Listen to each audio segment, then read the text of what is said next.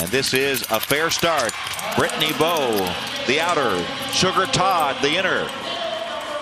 Hugely important pair. This, for Brittany Bowe, is a test of where she stands.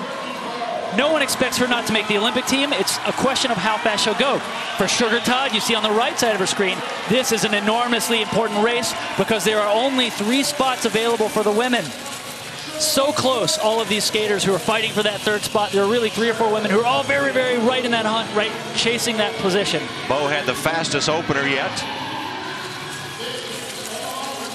Watch for a very fast first lap from Brittany Bowe. We saw Heather Bergsma skated that 27.19 second lap.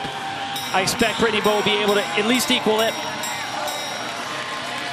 And a little bit off, 27.60. Five tenths of a second behind the time from Bergsma, so she'll have to skate a big finish here if she wants to take the lead.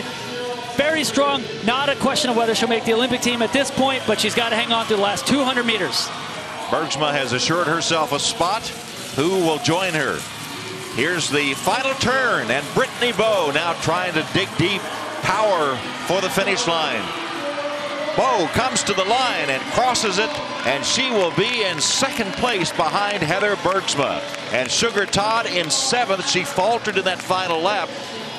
And so Heather Bergsma will be the champion, and Mia Manganello will make the team.